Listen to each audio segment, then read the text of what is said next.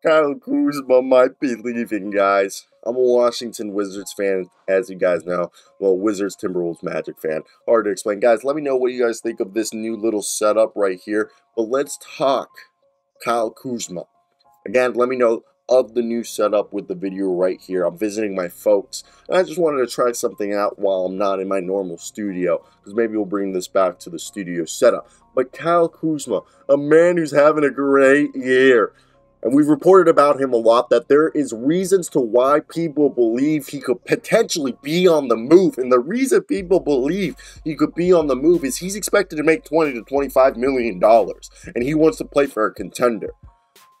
And he's kind of made it seem from what I've heard from my sources, which are, you know, the athletic and any other source you guys read, just I just process a high volume of information, is that he reportedly want he's doing it in a nice way, but he's basically telling us like, guys, I don't think you guys are contenders. I don't think you're gonna pay me the money. And the Wizards are a team that they're they have to make a decision between Kristaps Porzingis or or Kyle Kuzma. It's looking like they're choosing Kristaps Porzingis as the guy they're going to resign. So let's get right into it and talk about it. First off, shout out Ava Wallace of the Washington Post. And Kyle Kuzma has played his best basketball in two seasons with the Washington Wizards. That improvement has Kyle Kuzma thinking about free agency this coming summer. As I aforementioned, Kyle Kuzma is in, you know, being rumored to potentially go into free agency and he will be signing a deal worth 20 to 25 million dollars a year, 4 to 5 years. So he will be looking to be making between 80 million dollars to 125 million dollars. And this is why Kyle Kuzma said he won't sign an extension with the Washington Wizards. And he de- plans to decline his player option for the 2023 to 24 season. The veteran forward will then become an unrestricted free agent. This upcoming free agency class is considered a relatively weak free agent class. Kyle Kuzma could be poised to cash in as he might be one of, if not the best player available he should get a first year salary well north of $20 million. An extension with Washington, Kyle Kuzma could get a first year salary of just $16.25 million. So sim- simple economics tells you right there, I'm not going to stay.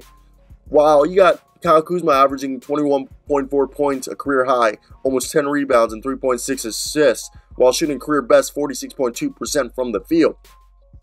So, do you the question comes down now, okay? That is it in your interest to keep Kyle Kuzma on this roster? Is Kyle Kuzma the guy that you guys need? Yes, it brings up questions if that's really what we're trying to build here. Because for me, this is a fun team. This is a fun team with Kyle Kuzma on them. And I like what the Wizards are building. I know it has translated to success. But there's a reason why we're hearing the Los Angeles Lakers, okay, the Utah Jazz, the Atlanta Hawks. And if we're aware that we can't keep Kyle Kuzma, I think it's in our best interest as a Wizards fan. Let's call up and get John Collins. Let's call up and get somebody to replace. We've heard maybe potentially Jared Vanderbilt's on the move. And the Jazz and the Suns have an interest in Kyle Kuzma. Okay, what if you send me Jae Crowder and Jared Vanderbilt? I'm fine with Jae Crowder and Jared Vanderbilt for Kyle Kuzma.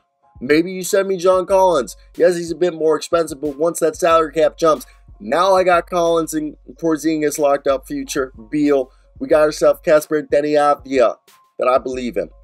So having the possibilities of being able to trade Kuzma now, I think need to be taken advantage before we lose him for nothing. Okay? Because we will gain more value from him if we trade him at the deadline or sooner rather than later than letting him walk in free agency. Because at the end of the day, it's not worth letting a guy walk in free agency if you're not getting anything back.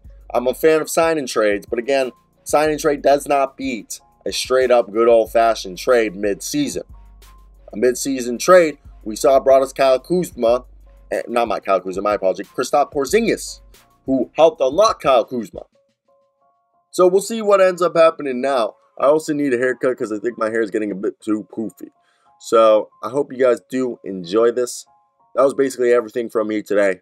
Till next time, guys.